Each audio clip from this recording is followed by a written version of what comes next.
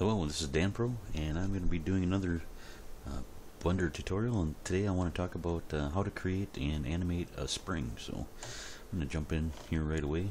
Go to Front Orthographic View, Shift A to get my Add menu, and I'm going to add a curve, Bezier. And then I'm going to type 7 on my numpad to go to Top-Down View. Um, I'm going to go to Edit mode of that Bezier curve.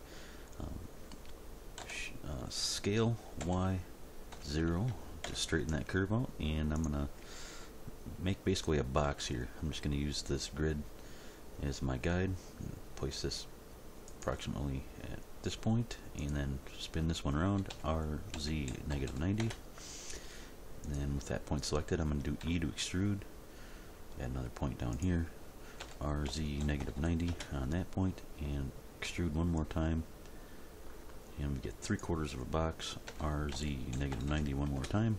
Now that doesn't look like a very good circle so we can fix that by selecting these points and scaling up these handles.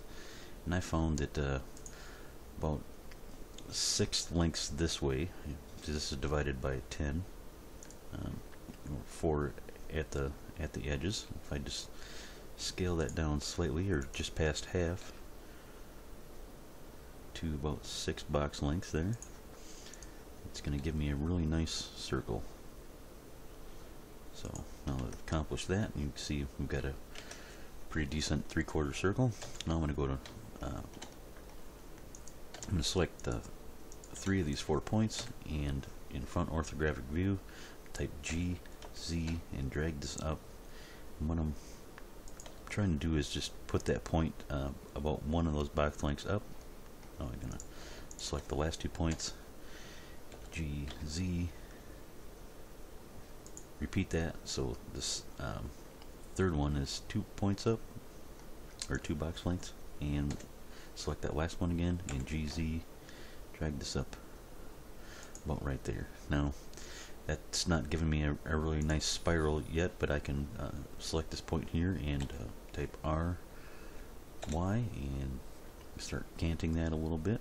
And let's do RY to this other one uh, in the other direction and now I can go to side view and repeat for these other points typing RX so we're now use the X direction.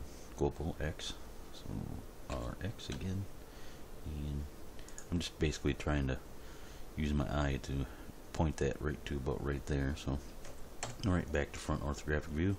Now I've got a really nice gentle curve here. I'm going to select all my points, Shift D to duplicate, and then GZ. I'm going to drag them up. And once again, one about one box, box length over the center point here. And what I want to do now is select um, this first point on that duplicate and the last point of the first um, section we made and just type F and that'll fill it once again, I'm going to select everything, Shift D, GZ, and fill the point. And front orthography one more time, Shift D, GZ. Now you can make your um, spring however long you want. I think I'm just going to stop about right here now, fill that. Alright, so now I've got a really nice, gentle spring like um, curve but it doesn't look like a spring so the first thing I want to do I think is uh, since I used uh, the blender unit grid here the spring is actually pretty huge so I'm going to use my shift S cursor to center and I'm going to add a scientific measuring tool uh, the human rig, and you can see that the spring is uh, massive so I'm going to scale this way down, I think, to get to about a size that um, it's a little bit more appropriate. And I'm going to do scale shift Z just to bring this in. And that looks about right. I can deal with that. And we can get rid of our measuring tool here. And uh, now that I've um, sized that down, I've actually got uh, scale values or unapplied scale values here and I want to apply those. So do control A. Oops control A. Apply scale, and now I'm uh, zeroed out at a scale of 111. So perfect. Now if we go in here, everything is uh, the way we want it, but it still doesn't look like spring, so we can go to our curve properties here, and at fill, I'm going to do full, and then I'm going to start dragging up this bevel depth until we get uh, size that we we like, or I like rather. And I'm just to stop right there. do period on my numpad so I could just spin around to that object. And you can see that this uh, end piece here is really square. In order to fix that, we can just drag up a resolution. If I just drag it up one, um, I went from four sides to six sides, and drag it up, oops, one more time. And then it goes to eight. I think I'll just go up here to resolution of about 8 and that seems decent to me. And also if we uh, come down here you see this U value. If I drag that down to 1 you see I basically just got a square. And every time I add or bump that up it subdivides it. So I'm gonna go to about 16 I believe there. And that looks pretty decent to me. Oh, so there we go. We've got a, a spring in about uh, a few minutes. I don't know exactly how. It probably took me longer to talk about it than to actually do it. So, um, so now what can we do with that spring? Well, I don't want to do this again, so I'm just going to duplicate it and move it to another layer, and then we can start uh, adding um, new things to it. I'm going to add a material to it. Let's just make this kind of a gray. Maybe this is like a spring on a car or something. And bump up my specularity a little bit and also my hardness. I'm just using uh, Blender render but you could of course do this with uh, cycles if you wished and that looks decent to me. But uh, how do we get this to animate or um, to rig it so we can have a working spring? Well, one we, we can do is just add let me go to curve properties again. Scroll down to the bottom and find shape keys. And oops, I'm gonna add one and it adds a basis like every other object or every other mesh object would. And I'll make two keys. Do expand and compress. So let's make let's drag our value slider up on expand and tab into edit mode I'm gonna select all these and I think I want my 3D cursor uh, as my pivot point. I'm going to scale it in the z-axis. let's go. that seems about right, right there. So there we go. We've got a shape key to expand and contract our um, our curve or our spring, and we could actually make another one for to drag it all the way down. But let's just do compress right now. Make sure our other one is zeroed out.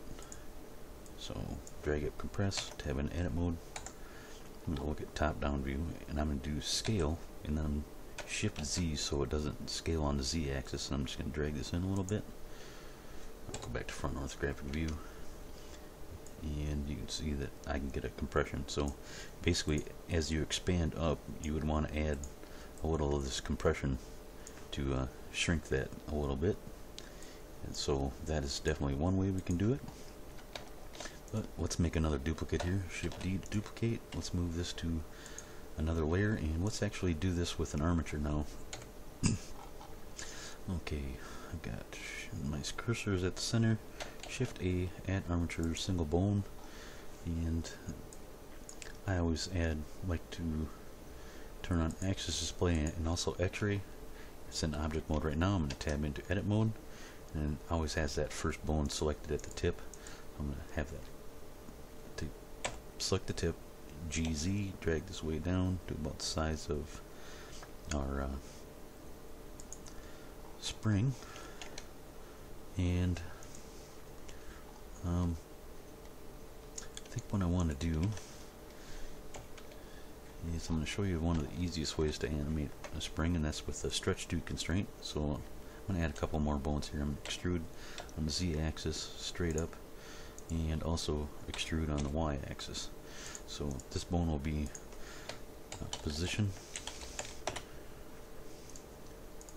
the central bone will be MCH stretch.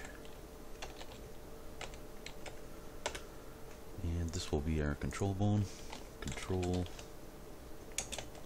stretch.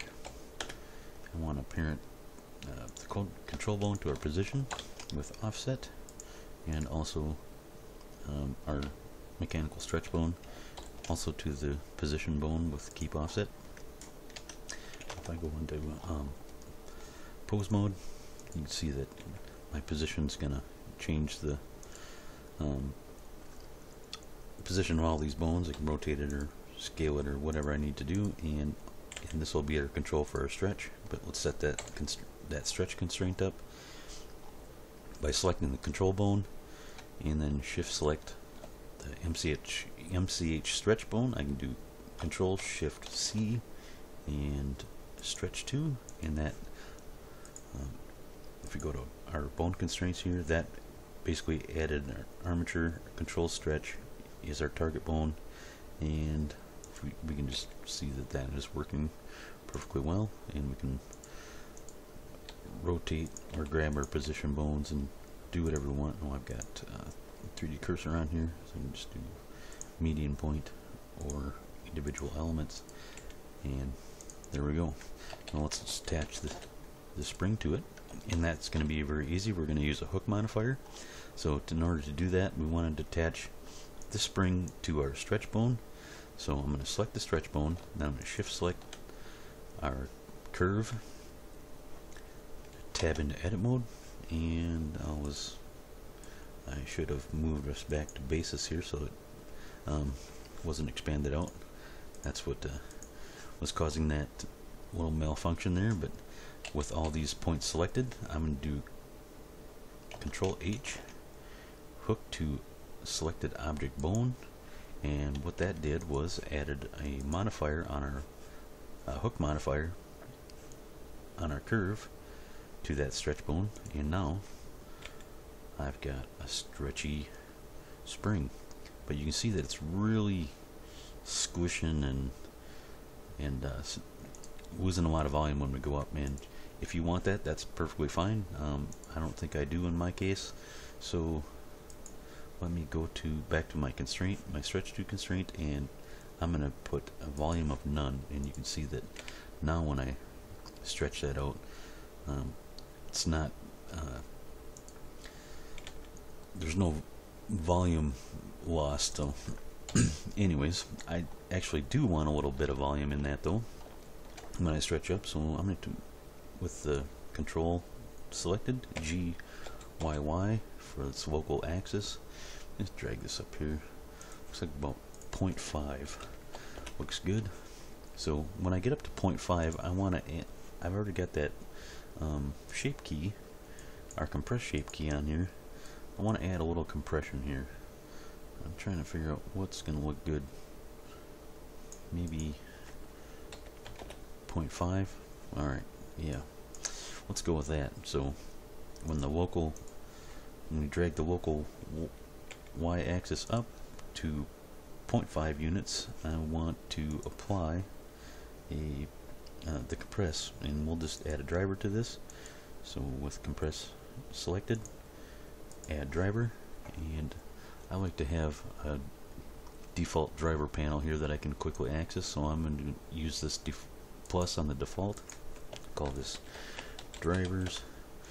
That way I can split a window here and I don't have to keep doing this as I'm working.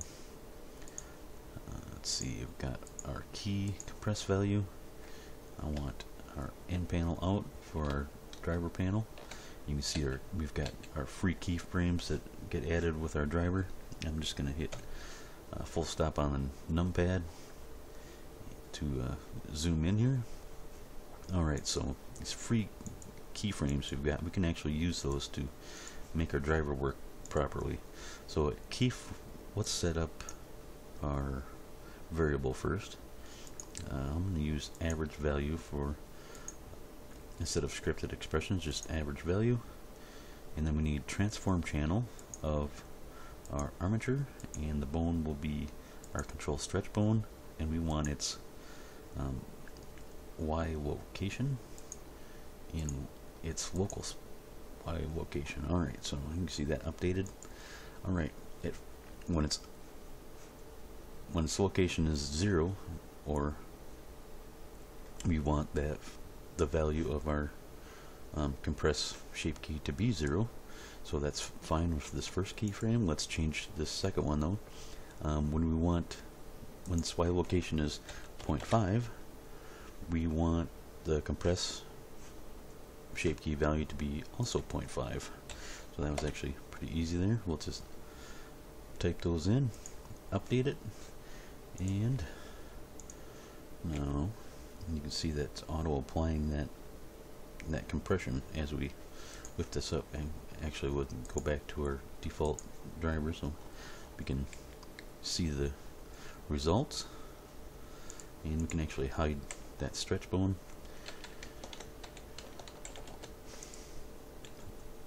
So we don't have to see that uh, behind our spring. And there we go. Um, very simple way to um, control a spring as long as we only want to stretch it in and out. If we wanted to add a curve to it, that of course is going to be a little bit more complicated and I've actually got uh, another file here and this is a complete rig but um, I won't be going through this in, in this tutorial just want to show you really quick I've basically got it's a lot more complex so um, in order to get this curvy functionality to it so um, there's a lot going on here. I've actually have uh, two armatures working together. I've got a spline and uh, a spline IK and also a, a control um, rig to move that spline IK so turn this